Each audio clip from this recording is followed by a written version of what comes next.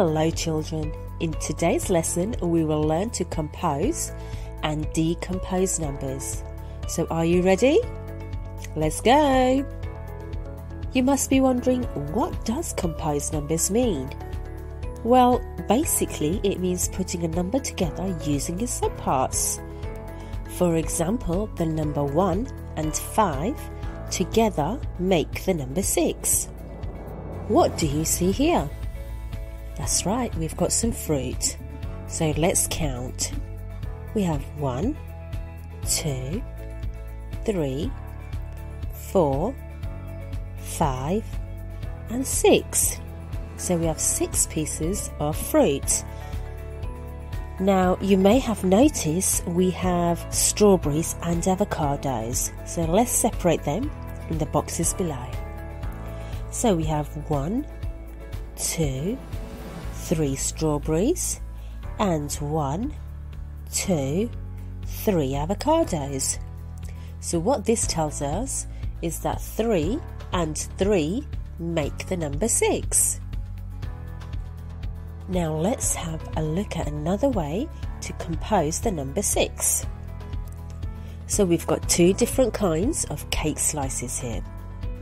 Count with me and let's see how many of the strawberry flavoured cakes we have and how many of the chocolate flavoured.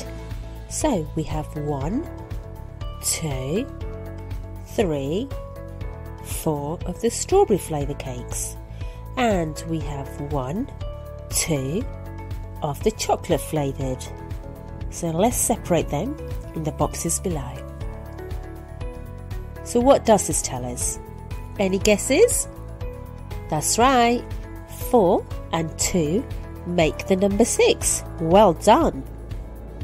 Now let's try composing a different number. We have two different kind of balls here. Let's count how many we have in total. Count with me. We have one, two, three, four, five, six, seven, eight, nine, and 10. So let's separate them in the boxes below. We have one, two, three, four, five, six, seven balls here. And we have one, two, three of the orange balls. So this tells us that 7 and 3 make the number 10. There are many other ways of composing the number 10. For example, 5 and 5 make the number 10, or 6 and 4 make the number 10, or 3 and 3 and 3 and 1 make the number 10. Why don't you pause the video and try to compose the number 10? And then when you come back, we will start learning how to decompose numbers. So, decomposing numbers is the ability to break a bigger number down into a smaller number. We can use this table here, which may be slightly easier for you. So, this is for the tens, for the fives, and for the ones. You can see here that we have some mangoes. Let's count them together. We have one, two, three, four, five six, seven, eight, nine, ten, eleven, twelve, thirteen, fourteen, fifteen, sixteen, seventeen mangoes.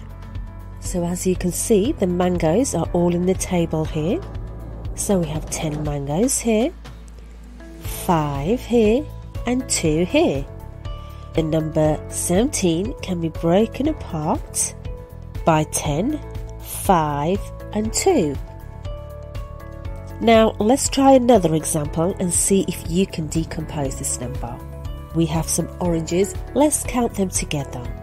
1, 2, 3, 4, 5, 6, 7, 8, 9, 10, 11, 12.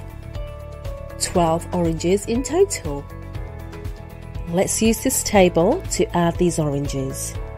we have 10 oranges here and 2 here. We have decomposed the number 12, breaking it down to 10 and 2. That was great, kids. Let's see if you remember exactly what we've learned today. So, what I want you to do is compose the number 9 and decompose the number 14. Let me know how you get on. Don't forget to watch the group's video next. And if you enjoyed this video, please like and subscribe below. See you next time.